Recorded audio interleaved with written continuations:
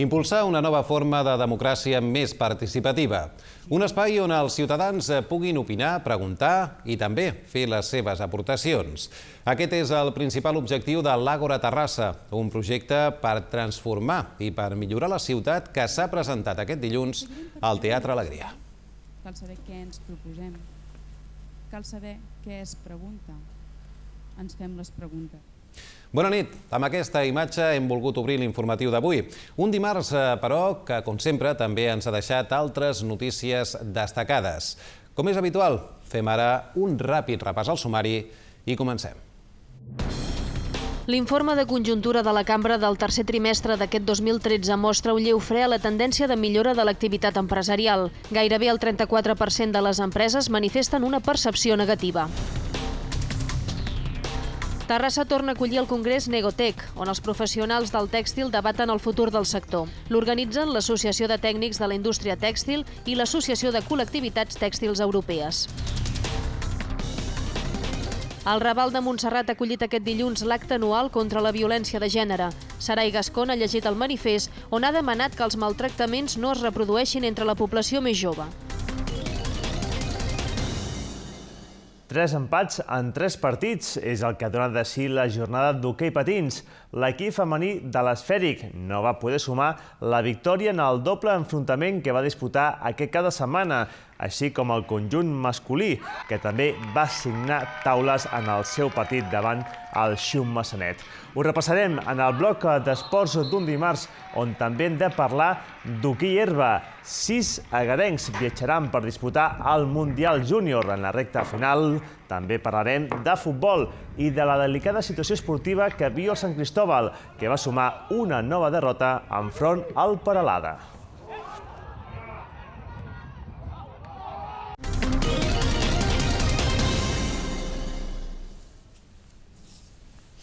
Terrassa serà la seu de les jornades de teatre i municipis. Experts d'arreu del país debatran sobre els teatres municipals a Catalunya. Des de la seva funció, al futur més immediat d'aquests equipaments culturals. Terrassa acollirà la propera setmana les jornades de teatre i municipi. Els dies 3 i 4 de desembre, al Teatre Alegria, nombrosos experts d'arreu del país faran una reflexió sobre els espais teatrals als municipis de Catalunya. És una mostra molt clara de la vitalitat cultural que des de fa molts anys té la, la ciutat eh, de Terrassa i també, de fet, doncs, és el resultat de la feina de molts anys, de l'esforç de, de molts professionals, de, també de l'administració, de moltes persones que han fet de Terrassa en els últims anys doncs, un motor molt clar a nivell eh, cultural. L'Institut del Teatre ha volgut aprofitar els actes de commemoració del seu centenari per ajudar a plantejar una anàlisi al voltant dels teatres municipals, la seva funció en la societat, el seu funcionament i els serveis a oferir.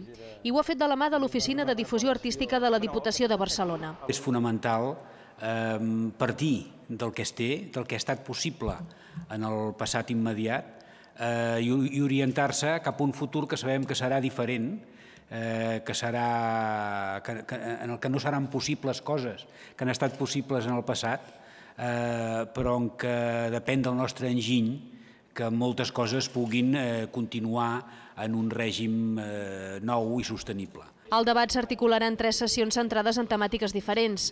A més, el dia 4 a la tarda tindrà lloc el Fòrum del Sistema Públic d'Equipaments Escènics i Musicals de Catalunya.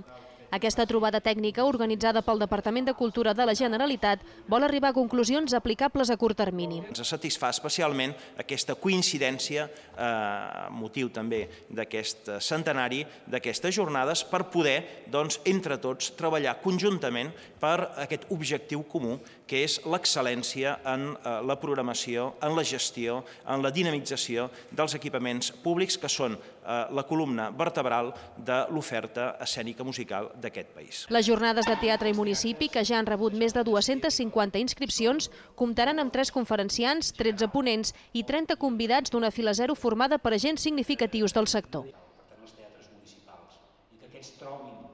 Ho veiem en començar l'informatiu d'avui. L'Àgora Terrassa s'ha presentat als ciutadans en un acte al Teatre Alegria. Es tracta d'un fòrum de debat obert a tothom. L'objectiu principal és sumar esforços a través del que vol ser i convertir-se en un nou model de participació ciutadana.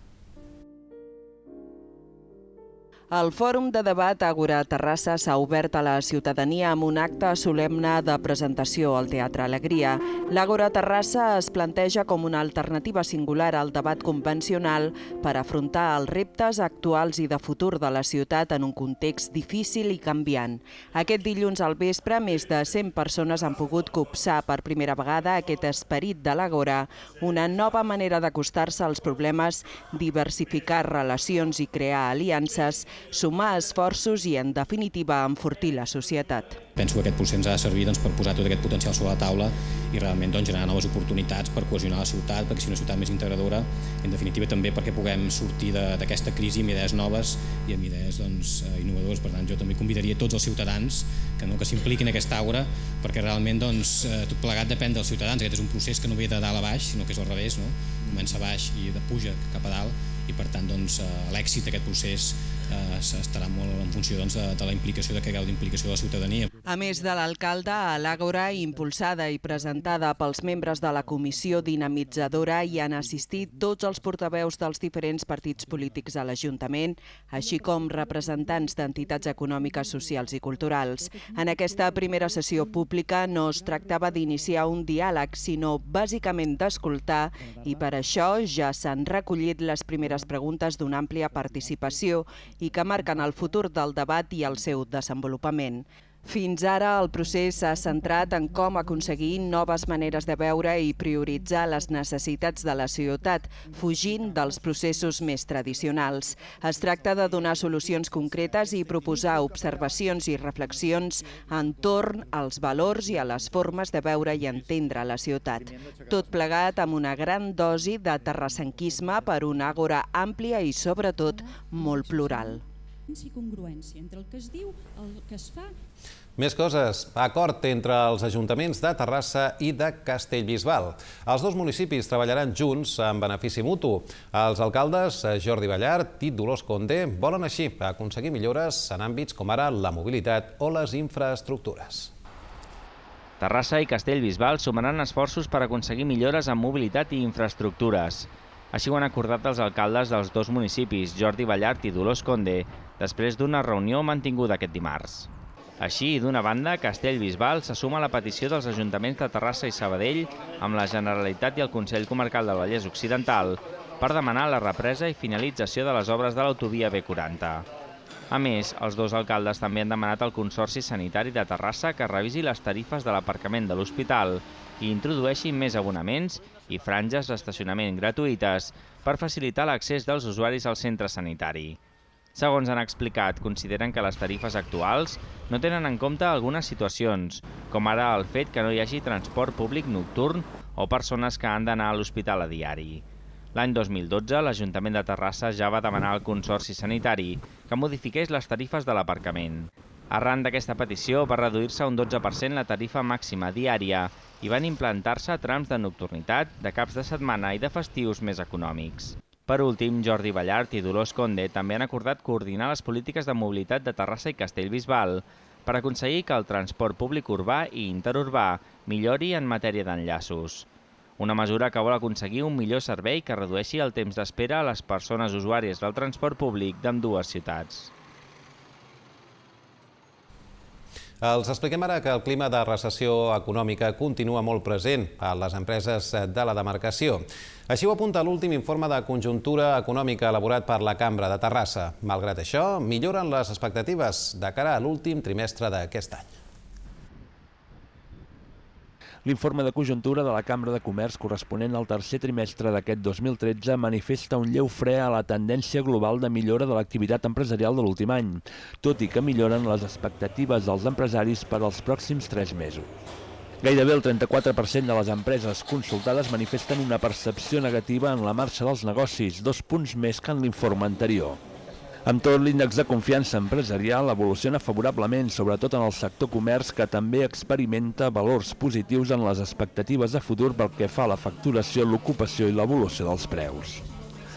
Tot i presentar saldos negatius en la majoria de sectors pel que fa als indicadors de clima empresarial i l'evolució respecte al trimestre anterior, les expectatives per aquest quart trimestre continuen presentant saldos negatius de fins a un 13%, millorant però en més de 6 punts respecte d'aquest trimestre. Pel que fa a l'activitat global, el sector comerç és l'únic que presenta saldo positiu amb més de 9 punts, amb un augment de 25 punts que no es produïa des del tercer trimestre de fa dos anys, un augment interpretable com estacional. L'informe de conjuntura és un document trimestral que elabora la Cambra de Comerç a partir d'una enquesta elaborada a 437 empresaris representatius de 12 municipis de la demarcació per veure l'evolució de l'activitat econòmica i confiança empresarial en l'economia i el mercat. I els parlem ara de l'acord entre la direcció i els sindicats a Panrico. Aquesta matinada, les dues parts han arribat a una entesa sobre l'expedient de regulació d'ocupació que afecta aquesta companyia. La mesura preveu acomiadar 745 treballadors, més de 200 a la planta ballesana de Santa Perpètua de Mogoda. A més, eh, també hi haurà rebaixes de sou d'entre el 18 i el 21%, unes eh, condicions que la plantilla de la fàbrica del Vallès no vol acceptar. De fet, els treballadors estan ara pendents eh, de celebrar una nova assemblea per decidir què fan a partir d'ara. En esta planta, por ejemplo, afecta que los salarios, como son de unos 26.000 euros, le, nos quieren recortar un 21%, porque es como una tabla, ¿no? Y luego también en esta planta, eh, a causa de la huelga, también nos han cambiado los despidos, porque empezamos que iban a despedir a 30 personas y conforme han ido avanzando las negociaciones, Ahora quieren despedir ya para este año y el año que viene a 144 personas de mano de obra directa y unas 20 o 30 personas de mano de obra indirecta. Y, entonces, y, en total de aquí al 2016 eh, 259 o algo así. I també destaquem que Terrassa ha acollit avui al Congrés Negotec, una trobada sobre negoci i tecnologia en el món del tèxtil. Aquest any la reunió està centrada en com afronta el sector l'actual situació de crisi econòmica. Tres anys després de la darrera trobada a Terrassa, l'Hotel Don Càndido torna a acollir el Congrés Negotec sobre negoci i tecnologia en el sector tèxtil. N'és la tercera edició i l'organitzen conjuntament l'Associació de Tècnics de la Indústria Tèxtil, l'ATIT, i l'Associació de Col·lectivitats Tèxtils Europees, l'ACTE, de la qual Terrassa n'ostenta ara la presidència. En aquesta ocasió, el Congrés s'ha centrat en el nou paradigma que viu el sector i en com afrontar les condicions de l'actual entorn incert. La capacidad de cooperar es y debe ser una de nuestras grandes ventajas competitivas. Es fácil decirlo y cuesta mucho hacerlo. Pero este es el camino si queremos avanzar en diseño, producción, distribución y consumo y fortalecer uno de los pilares de la fortaleza industrial europea, el textil. El president de la SECOT, Antoni Abad, ha estat l'encarregat de pronunciar la conferència inaugural Perfil per a competir estratègies de cooperació. Abad ha provat de contagiar l'audiència amb el missatge de rebel·lia positiva que promou la patronal. El elemento más trascendente, el elemento más importante de competitividad empresarial son las personas y los equipos, porque son los que marcan la diferencia. Y esto sirve para la gestión de una organización que se puede llamar empresa o para la gestión de una organización que se puede llamar administraciones. La resta de la jornada ha inclòs sessions sobre la dicotomia entre tèxtil moda i tèxtil tècnic, l'evolució de la tecnologia tèxtil del nylon a les nanofibres i una taula rodona sobre les eines a la competitivitat empresarial. A la tarda, la TIC ha celebrat la seva assemblea general. Durant tot el dia, diverses empreses i organitzacions han tingut espai per donar-se a conèixer. I tercera sessió del curs sobre la transició, una activitat organitzada per Òmnium Cultural i el Centre d'Estudis Històrics de Terrassa. Aquest dilluns el convidat ha estat l'exalcalde de la ciutat, Manel Rolles. Més d'un centenar de persones han assistit a la conferència al Centre Cultural. Rolles ha parlat de les transformacions municipals durant l'etapa de transició. L'exalcalde de Terrassa ha parlat de la unitat i de la il·lusió de tots els polítics escollits a les primeres eleccions democràtiques després de l'etapa franquista. Malgrat això, també ha lamentat que es eh, passessin per alt aspectes com ara la depuració de les responsabilitats de l'etapa franquista. S'imposa un gran nombre de localitats amb escassa població i enormes dificultats que actuen sobre el territori i Terrassa ha commemorat el Dia contra la Violència de Gènere. Aquest dilluns eh, s'ha fet l'acte central al Raval de Montserrat, un minut de silenci i la lectura d'un manifest en record de les víctimes d'aquesta xacra social. la Comissió 8 de març diu no a la violència masclista. El Raval de Montserrat ha acollit aquest dilluns l'acte anual contra la violència de gènere que ha plegat partits polítics, associacions i entitats. Com és habitual, s'ha fet un minut de silenci en record de les dones que han estat víctimes de les seves parelles o exparelles. El manifest l'ha llegit aquest any la nedadora Sarai Gascon, que ha demanat que els maltractaments i les actituds masclistes no es reprodueixin entre la població més jove. La prevenció de la violència passa per la construcció de nous models de relació entre sexes, basats en l'equitat, el reconeixement i el respecte a la diferència. Eh, ara ens preocupa molt la gent jove, perquè també, segons eh, els Mossos d'Esquadra, també un 3% de la violència, de les denúncies de violència que es van aquí a Terrassa l'any passat, eh, suposava un 3%. Per tant, també tenim aquesta dada que malauradament no ens agrada, però és així. La gent jove eh, cada vegada també està patint més violència masclista. L'Ajuntament impulsa una campanya de prevenció als instituts. A les xerrades es posa l'accent en els anomenats actes de micromasclisme. És un petit acte que de forma aïllada no tindria que ser una violència, però que el conjunt i la suma de tots aquests actes fan eh, que, tingui, que estiguis patint una violència. Exemple, el control a través de, del telèfon, el control de com t'estàs vestint, el control de com et maquilles, tot això sumat pot dir que realment estàs patint una violència masclista. Una de les claus per aturar la violència de gènere és que les dones que hagin estat maltractades no tinguin por de denunciar-ho a la policia i que ho facin ràpid. El Servei de Polítiques de Gènere ha atès l'últim any un miler de casos. Una mica més de la meitat, un 55%, han estat per maltractaments, siguin físics o psicològics.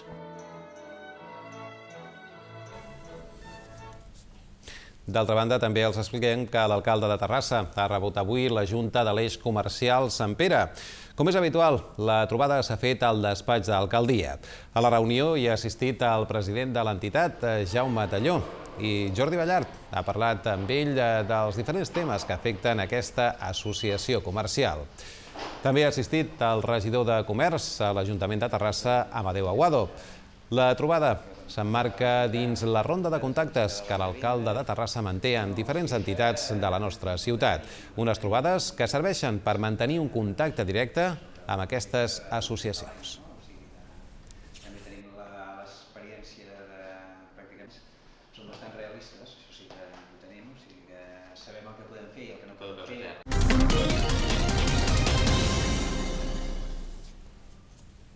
I com cada dia, temps ara per fer un repàs a l'actualitat esportiva, tot un seguit de notícies que ens acosta el nostre company, el Joan Gutiérrez. Joan, molt bona nit i benvingut. Bona nit, Òscar. Avui em sembla que intentaràs fer el possible perquè eh, la forma no t'acompanya, eh? No, es pot dir que la salut ara mateix està sota mínims. Està sota mínims.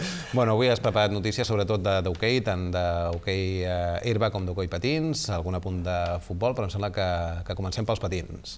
Comencem amb l'hoquei patins, eh, perquè va haver-hi jornada intensa, podríem dir, aquest cap de setmana, amb els dos equips de l'esfèric, que ni van guanyar ni van perdre.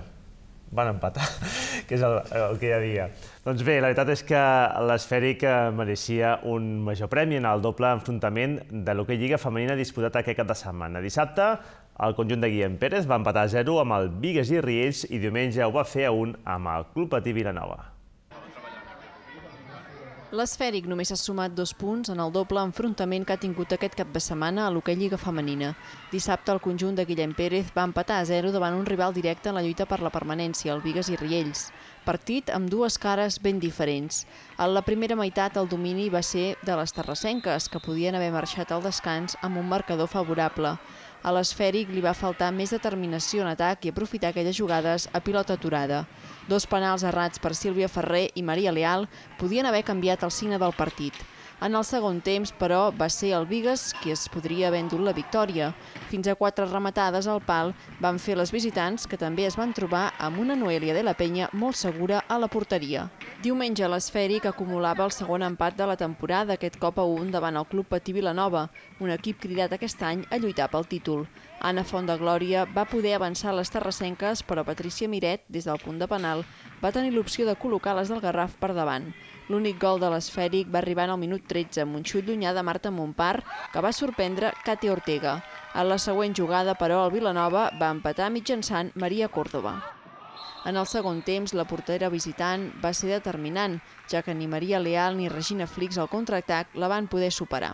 A l'últim segon, però, Clàudia Miret va tenir en el seu estic la victòria per al Vilanova. Està clar que fer dos partits en un mateix cap de setmana és, és complicat a nivell, a nivell físic, però bueno, la Lliga Femenina funcionem així, és per tots igual, per tant no, no existeix excusa ni cap queixa, al contrari. Ocasions hi ha hagut, eh, ens falta més determinació en atac. Eh, ser menys, menys eh, diguéssim, companyes i més egoistes en aquest sentit. Eh, L'objectiu de l'atac és fer gol. Eh, I a vegades nosaltres ens volem quedar bé amb tothom i volem fer masses passades quan a vegades l'objectiu és, és atacar i hem de seguir evolucionant en aquest sentit. L'esfèric ocupa la desena posició amb 5 punts. Dissabte visita el quart classificat, el Palau de Plegamans.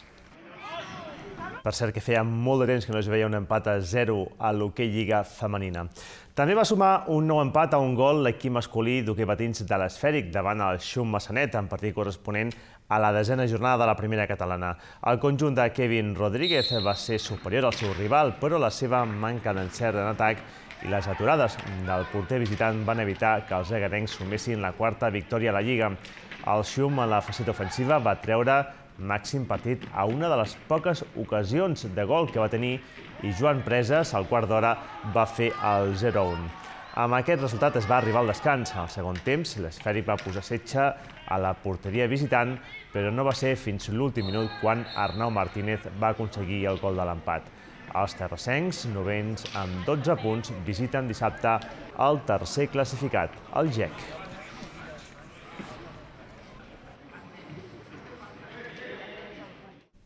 La selecció espanyola masculina sub-21 d'hoquei va ha guanyat aquest dimarts a Escòcia per 7 a 0 en el primer dels dos amistosos que el combinat de Xavi Arnau disputa a Madrid com a preparació del Mundial Júnior. Demà jugarà el segon també a les instal·lacions del Consell Superior d'Esports. A la llista final de 18 jugadors que el seleccionador terrassenc ha fet pública i que viatjaran a l'Índia, hi ha els sis agarencs que van estar concentrats a Terrassa a l'inici de la preparació. Són concretament els jugadors de l'Atlètic Marc Voltó i Albert Beltran, així com el porter Marc Alzada, Josep Ferrés del Club Egara, Santi Malgosa del Club de Campo i Lluís Mercader del Royal Leopold belga.